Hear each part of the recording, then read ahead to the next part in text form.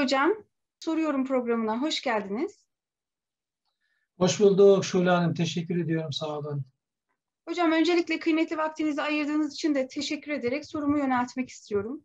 Malumunuz hız ve haz çağında yaşıyoruz ve özellikle gençlerin ve genç çocukları olan ailelerin bir takım temel problemleri var. Bununla birlikte elbette ki öğretmenlerin ve din eğitimiyle uğraşan pek çok kişinin de temelde karşılaştığı birçok soru var.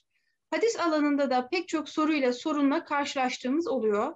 Sanıyorum bu konudaki en büyük eksiklerimizden biri hadis alanını yeterince tanımayışımız, Peygamber Efendimizin hayatını yeterince bilmeyişimiz. Genellikle malumat düzeyinde körü körüne edinilmiş bilgiler üzerinden ilerliyoruz ve bu da bizim dine bakışımızı da kısıtlayan bir hal alıyor. Bu yönüyle ilk olarak şunu sormak isterim. Hazreti Peygamber'in gençlerle ilişkisi nasıldı? Aileler, öğretmenler bu yönde peygamberimize nasıl örnek almalılar? Sözü size bırakıyor. Teşekkür ediyorum hocam. E, ben teşekkür ediyorum. Konuşmamızın hayırlara vesile olmasını diliyorum. Öncelikle şunu ifade edeyim. Hazreti Peygamber aleyhisselam malumunuz olduğu üzere 63 yaşında vefat etti. Peygamberimizin hayatının yani nübüvvet açısından yoğunluklu olan dönemi Medine dönemidir. Medine'de Hazreti Peygamber aleyhisselam 10 yıl kaldığına göre Medine'de demek ki Hazreti Peygamber aleyhisselam 53 yaşından 63 yaşına kadarki süre içerisinde Medine'de hayatını sürdü. Şimdi Peygamberimizin etrafındaki insanlara baktığımız zaman, Medine dönemindeki insanlara baktığımız zaman bundan önemli bir kesiminin gençlerden oluştuğunu görüyoruz. Demek ki Hazreti Peygamber 53 yaşına rağmen alt sınır olarak 53 alacak olursak 53 yaşındaki bir insan artık yaşlılık aşamasını 50'yi geçen bir insan olarak biz de öyleyiz. Artık yaşlı kategorisinde değerlendirilebilecek olan bir insandır. Ama Hazreti Peygamber aleyhisselam etrafındaki insanlara baktığımız zaman bunların önemli bir kesiminin gençlerden oluştuğunu görüyoruz. Yani Medine savunması yapmak durumunda kaldığında Hazreti Peygamber aleyhisselam, çünkü Peygamberimiz Medine'ye göç ettikten sonra başta Mekkeli müşrikler olmak üzere insanlar bu dinin oradan çok güçlü bir şekilde yeryüzüne yayılacağını tahmin ettiklerinden dolayı o dini daha beşiğindeyken boğmak isteyeceklerdi. Ve bu amaçla da Medine'ye birkaç kere seferler düzenlediler. Hileler, tuzaklar kurmaya çalıştılar. Şimdi Hazreti Peygamber Aleyhisselam bu düşman saldırılarına karşı, saldırılarına karşı savunma hattı oluşturmak, işte orduyu düzenlemek vesaire bu çabalar giriştiği zaman hep şunu görüyoruz. Peygamberimiz etrafında hep genç insanlar var. Yani 20'nin altındaki 15-20 arasındaki gençlerin olduğunu görüyoruz Hazreti Peygamberimizin etrafında. Tabii bunlar babalarının da onayıyla yani şöyle düşünmesin ailelerine kaçarak geliyorlar. Hayır bizzat babalarıyla, anneleriyle, onların e, yardımlarıyla bunlar savaşa katılıyorlar. Hatta Peygamber Aleyhisselam'ın şöyle bir uygulaması var. Böyle küçük olan, boyu kısa olan gençleri savaştan geri çevirdiği durumlar oluyor. Ama böyle durumlarda babaları gelip Hazreti Peygamber Aleyhisselam'a itiraz ediyorlar. Falancayı aldığında bizim çocuğu niye geri bıraktın diyerek. Şimdi bütün bunlara baktığımız zaman bütün bunlara baktığımız zaman esasında bir şey bizim zihin dünyamızda ışık olarak çakması lazım. O da nedir? Hazreti Peygamber ne yaptı da bu gençlerle öyle bir iletişim kurdu ki bu gençler kendi canlarını Peygamber Aleyhisselam'la birlikte İslam yoluna feda edebilecek bir pozisyona geldiler. Şimdi bizim ülkemizde Hazreti Peygamber Aleyhisselam'ın başarısını yorumlarken genellikle çok büyük bir hataya düşünüyor. O da şudur. Hazreti Muhammed Allah'ın son peygamberiydi Aleyhisselam. Allah onu zaten muzaffer kılacaktı. Dolayısıyla bir şey yapmasaydı bu din sonuçta yeryüzüne yayılacaktı. Ama unutulan şey şudur. Hazreti Peygamber Aleyhisselam'ın bütün başarılarının ardında Peygamberimizin alın teri vardır. Alın teri. Yani böyle bir şey görmezsek biz hakikaten Peygamber Aleyhisselam'a da haksızlık etmiş oluruz. Bir de şu var. Allah Hazreti Peygamber Aleyhisselam'ı bizim önümüze kıyamete kadar bütün Müslümanlar peşinden gideceği mutlak bir rehber olarak koyuyor. Lekat kâne lekum fî rasûlillâh üsvetun hasene diyor Allah. Yani bu peygamber kıyamete kadar sizin rehberinizdir. Bir insanın rehber olması için Şule Hanım, rehber olması için peşinden gelecek olan insanların da onunla aynı kabiliyete, aynı sıfatlara sahip olması lazım. Şöyle diyeyim, yani Hazreti Peygamber bir melek olsaydı bizim için örnek olamazdı. Niye? Benim şöyle deme hakkım olurdu veya sizin deme hakkınız olurdu. Kardeşim o bir melek, onun günah işleme kapasitesi yok, nefis yok, şeytan yok eh, sevaptan başka, iyi işten başka yapacak bir durum Yorulmaz, yok. acıkmaz, sıkılmaz, bunalmaz. O zaman benim için, sizin için, diğer kardeşlerim için bir örnek olmaz. Ama şunu görüyoruz. Peygamber Aleyhisselam da bizim gibi bütün yönleriyle bir insan. Demek ki hem de annesiz babasız bir insan. Bu da çok önemli. Yani bir insan annesiz babasız yetişirse o hayatın kötülüklerine daha fazla açık olur, maruz kalır. Bunu bütün eğitimciler bilir.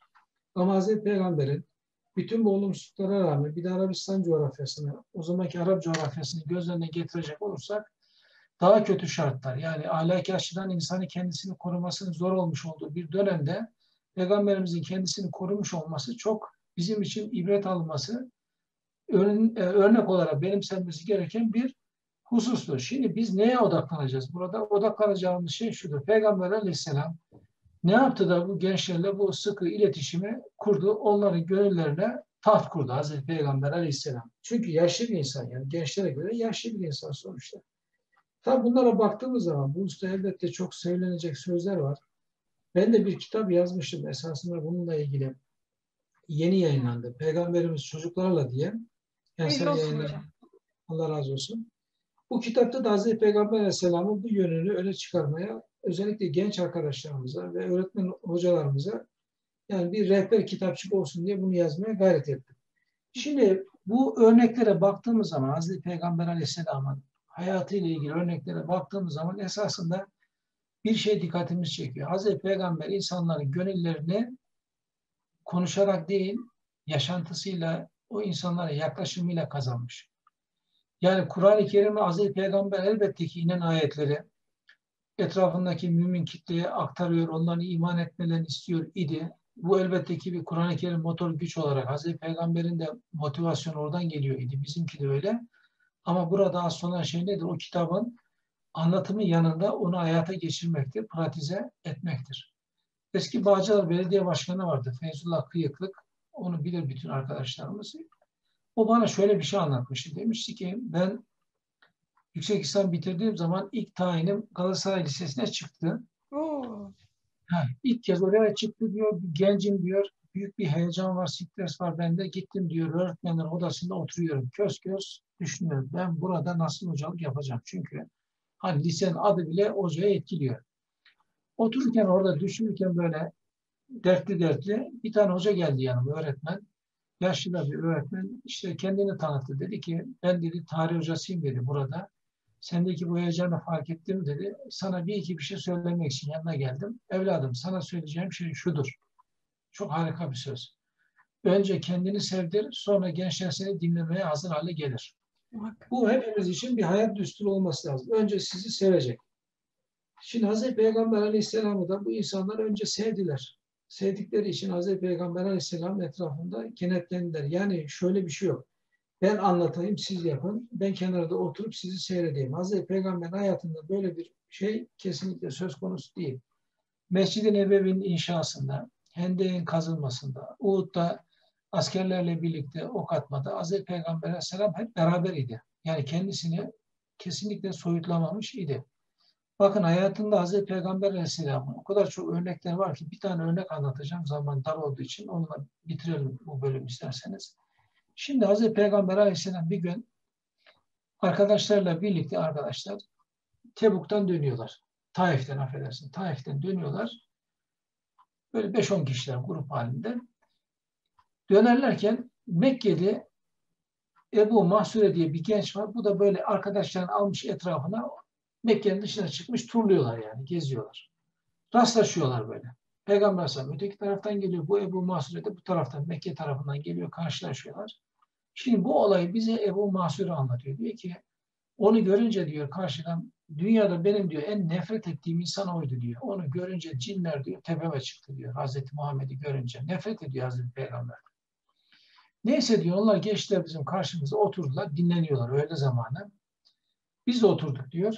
Tabi öğle namazı vakti gelmiş. Hazreti Peygamberimizin güzel bir uygulaması var. Peygamber aleyhisselam nerede olursa olsun her halükarda namazı cemaatte kılıyor, ezan okutturuyor. Yani Peygamberimizin farz namazı bireysel kıldığı vaki değil. Mescid-i Nebevi'nin inşasından sonra. Böyle bir şey söz konusu değil hayatında. Şimdi Peygamberimiz orada birine diyor ki kalk diyor ezan oku diyor. Bunlar da karşıda tabii. Şimdi orada sahabe Allahu Ekber, Allahu Ekber başlıyor ezan okumaya. Bu Ebu Mahsure ve arkadaşları tabii gıcık kapıyorlar ya peygamberimize ve etrafındakilere. Başlıyorlar müezzini taklit etmeye. Gençleri bir zihin dünyamızda canlandıralım. Ağızlarını, burunlarını büküyorlar böyle şekilden şekile giriyorlar. Müezzini taklit ediyorlar. Tabii peygamberimizin yanındaki sahabiler acayip kızıyorlar olaya. Kalkıp bunları pataklamak, dövmek istiyorlar. Hazreti Peygamber onlar diyor ki hele sakin olun diyor. Hele bir sakin olun. Neyse müezzin ezan okuyor. Bunlar da tabii taklit ede ede ezan bitiyor. Şimdi ezanı bitirdikten sonra Hazreti Peygamber işlerinden birine diyor ki arkadaşlarından birine şu gençleri buraya bir çağırır mısınız diyor. Tabii oraya haber gönderince onlar diyorlar ki Muhammed Aleyhisselam sizi davet ediyor. Yani Muhammed diyor, Peygamber Muhammed sizi davet ediyor. Gelir misiniz diyor. Bunlar da böyle hani böyle bir şey lakat bir şekilde karşılarsın ya böyle önem vermezsin böyle ağzını burnunu işte hareketleri yaparak tamam gelelim ne olacak? Geliyorlar Hazreti Peygamberimizin yanına. Peygamber Aleyhisselam onlara hoş geldiniz diyor. Buyurun oturun diyor. Bakın en gıcık kaptıkları insanla karşı karşıyalar. Peygamber Aleyhisselam onlara buyurun oturun diyor. Oturuyorlar. Sonra onlara soruyor peygamberim sen kimsin işte, kimin oğlusun, baba ne iş yapıyor, ne durumdasın? Bir de Mekkeli ya peygamberimiz, Mekkelileri de tanıyor. O diyor işte ben şuyum, buyum, işte hepsi kendilerini tanıtıyor. Bir şey başlıyor aralarında, bir muhabbet başlıyor. Böyle o, o şey, o sertlik gidiyor. Sonra peygamberimiz diyor ki onlara, siz diyor bizim arkadaşı diyor karşıdan taklit ediyordunuz diyor. Şimdi yapın bakalım bir aynı şeyi diyor. Arkadaşlar, Peygamber Aleyhisselam Tekrardan bunları ayağa kaldırıyor sırayla. Bunlara ezan okutturuyor. Ezan okutturuyor. Allahu Ekber, Allahu Ekber. Bilmiyorlar tabii. Sonra bu Ebu Mahsure'ye geliyor sıra. Bu hikayeyi bize kendi anlatıyor. Sonra bu bir Hazreti Peygamber ona Allahu Ekber, Allahu Ekber, Allahu Ekber, Allahu Ekber diyor ama nameli yaptırıyor. Böyle ona bir ezan okutturuyor ama sesi dört dörtlük bir ses. Peygamber Aleyhisselam bitirdikten sonra diyor ki ya diyor senin diyor ne kadar güzel bir sesin varmış diyor. Seni diyor biz Kabe'ye müezzin yapsak kabul eder misin diyor. Şimdi bakın olay nereden nereye evrildi. Bu diyor ederim diyor. O zaman diyor bizim Mekke valisi diyor Attab bin Esid'e git ona de ki beni Hazreti Peygamber gönderdi. Bundan sonra Kabe'nin müezzini benim. Sonra peygamberin cebine de birkaç kuruş harçlık koyuyor. Bunu gönderiyor. Bu diyor ki dönüşte bunu kendi anlatıyor. Diyor ki Yanına giderken gördüğümde en gıcık kaptığım insan oydu. Dönüşte dünyada en çok sevdiğim insan o idi diyor. Ya. Şimdi bu, bu bizim için nedir bu? bu? Bizim için şudur. Yani Hazreti Peygamber ona şöyle bir şey yapabilirdi esasında. Belki biz onu yapabiliriz yani. Şimdi oradan ezanı taklit ettirdikleri zaman Hazreti Peygamber iki üç kişi gönderir. Bunların ağızlarını, burunlarını güzel bir kırdırıp affedersiniz. Ve yanlarına gelip bunlara Utanmıyor musunuz? Biz burada ezana davet, işte ezan davet okutuyoruz. Kutsalımıza saygı gösterin filan diye. Ahlaksız gençler. Biz annenize, babanıza terbiye almadınız mı mesela? Ya bunlar demiş olsaydı bu Attab bin Esid'de etrafında insanlar da bunlar dinle, imanla bir alakası olur muydu? Olmazdı. Bu bir tek örnek bile. Ben bunlar tabii az önce söylediğim kitapta anlatıyorum. Hocam ismini bu, tekrar edebilir misiniz kitabınızın? E, kaçırdılar. Belki ses kesikliği oldu. Kitap şu Peygamberimiz çocuklarla diye. Şimdi diyeceğim şey şu. Şule Hanım, şimdi Hazreti Peygamber Aleyhisselam'ı anlamaya çalışırken, anlatmaya çalışırken benim bütün yani ben 1995'ten beri ilahiyatta ders veriyorum. Her zaman 94'ten beri her zaman şunu diyorum.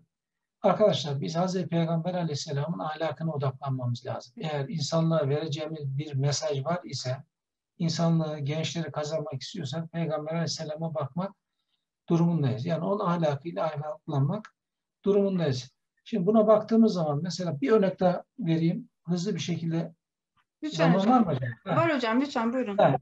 Şimdi Medine'de Rafi bin Amr diye bir çocuk var. Şule Hanım. Bu çocuk böyle haşer olan çocuklar olur malum.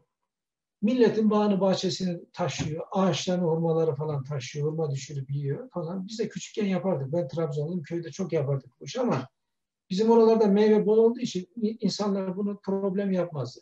Ama şimdi Mekkeli insanın geçimi hurmada.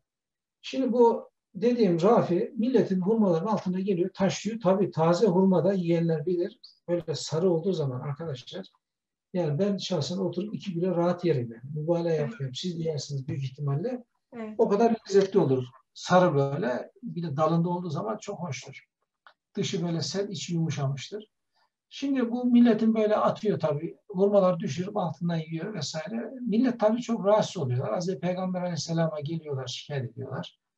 Peygamberimiz diyor ki onu bir de öyle yaparken görürseniz onu bana tutun getirin diyor. Tutun getirin. Şimdi bu yine birini bahçesini taşlarken bu Rafi bahçe sahibi zaten burasına gelmiş yakaladığı gibi bunun ensesinden tutup sürükleyerek Hazreti Peygamber'e getiriyor. Ama bu öyle bir titriyor ki bu olayı da kendisi anlatıyor. Acayip bir titreme aldı beni diyor. Öyle bir korktum ki diyor acaba ne olacak? Yani dayak mı yiyecek, falakaya mı yatılacak artık ne olacak diye bekliyor.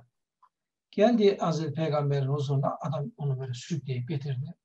Hazreti Peygamber ona soruyor ismin ne evladım diyor. Bu diyor işte Rafi.